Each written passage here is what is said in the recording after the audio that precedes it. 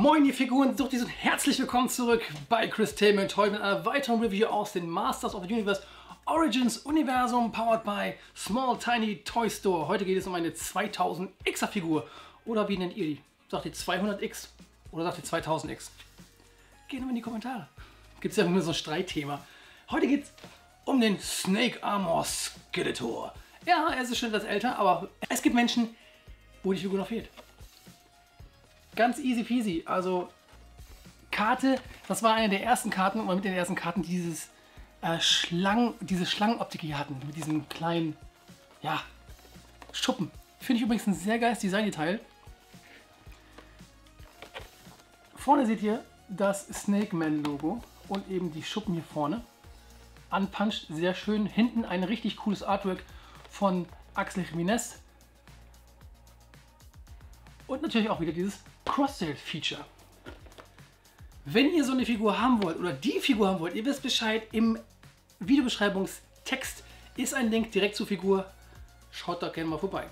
Aber wir wollen natürlich auch angucken, wie sie aus der Box aussieht und deswegen hole ich es jetzt raus und dann machen wir hier ein 360.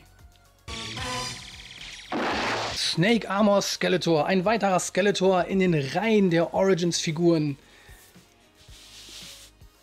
Ich rede erstmal normal über die Figur. Ich finde es krass, was damit dazu kommt. Also ihr habt ein riesen dickes Schild dabei. Ihr habt eine extrem heftige und voluminöse Armor, also Rüstung. Und ihr habt einen Eislöffel. Oder keine Ahnung, was das sein soll. Schwert. Pff, könnte mich gerne aufklären. Ich finde das Ding einfach nur komisch. Aber Gesicht finde ich sehr gut.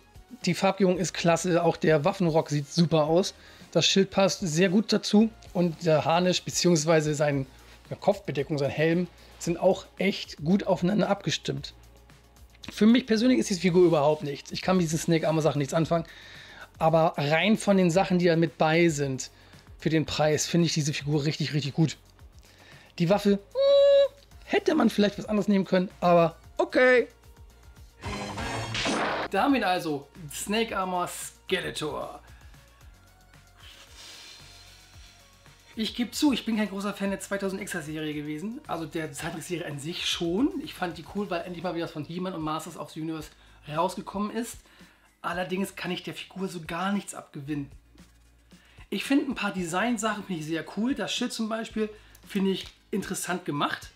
Habe ich so noch nicht gesehen. Fand ich auch äh, sehr nice. Auch der, der, der Harnisch, so im Cobra-Stil, den Pfannenwender, den er dabei hat, diesen grünen, verstehe ich gar nicht. Vielleicht muss ich die Serie nochmal gucken oder so, ich habe keine Ahnung. Also ich, die Waffe finde ich nicht schön, gar nicht gut. Aber dafür ist das Schwert sehr geil gemacht. Äh, das, das Schwert. Aber dafür ist das Schild sehr geil gemacht, wie ich finde. Was sagt ihr denn zu dem Skeletor?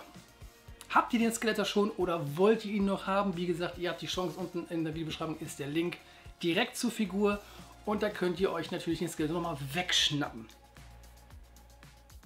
Ich hoffe, es hat euch ein bisschen gefallen. Wenn dem so ist, lasst gerne einen Daumen für Skeletor da und für die Master of the Universe Origins Reihe. Und wir sehen uns dann im nächsten Masters-Video auf jeden Fall wieder. Es geht wieder los. So sieht es nämlich aus. Ich danke euch fürs Zugucken.